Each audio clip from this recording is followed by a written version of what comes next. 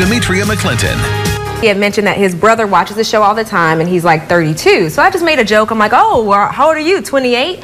And then the young girl says, no, that's old. Aren't you 28? And to see, we all have on gray today. That's right. I guess because we knew it was going to rain. It's all about greed, corruption, and proof. Now, they said they will vote later on, maybe in November, for that election. And city school board members voted, and their vote was for Tim Wilder. Touch the doors, he paced the floors. Brian's me, me of you when you're trying to get in the studio. You lost your What? Keys. Climbing on the window. I remind you of a dog? Is that what you're trying No, to say, no. Chris? What's- Havley has a look at your forecast. Hey, Chris. After the debate, I received so many text messages from a lot of my friends just asking me if I thought that he was cute. Out of this drain are blankets and sheets, and we're not currently sure if that was placed there by investigators when they were trying to rescue the toddler or if that was placed there by the mother. That hormone replacement therapy right after menopause could help a woman's heart.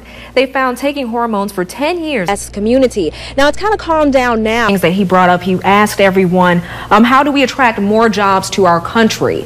Uh, what do you think that answer is? How could we do that? They say they want to sponsor the event. Is there still time for them to get involved as well? Alabama Gives Day is a virtual online fundraiser for people to go online and to donate to their favorite charities. The top surgeries for males 18 and younger are nose jobs.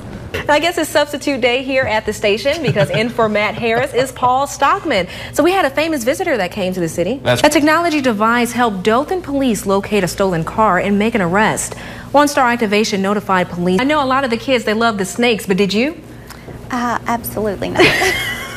With his ponytail blowing in the wind. in your own backyard. But that's how Gerard Middle School's principal is reaching out to parents. $100 for soup, because that's mm-hmm. someone who I need to meet. Let, let me tell you who it is. You. No. Enterprise residents were enjoying a different type of fare.